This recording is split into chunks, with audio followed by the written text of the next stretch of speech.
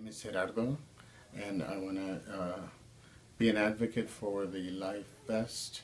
Only because I feel 100% comfortable. I do everything in my vest except shower. Everything has to be, you know, put, put on properly.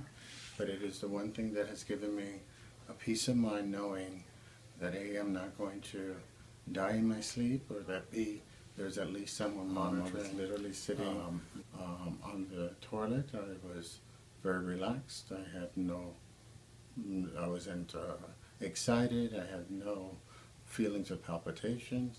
One minute I'm on the toilet, the next moment I'm on the floor.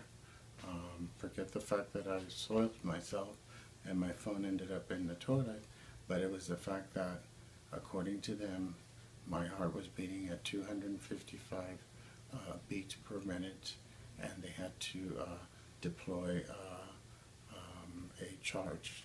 Uh, the one thing uh, I cannot uh, advocate more for having this vest because it has, it has literally given me the peace of mind that I need. I have never in my life, prior to this situation, And here we see the strip of the abnormal arrhythmia, ventricular fibrillation, and the subsequent shock, restoring the heart to normal.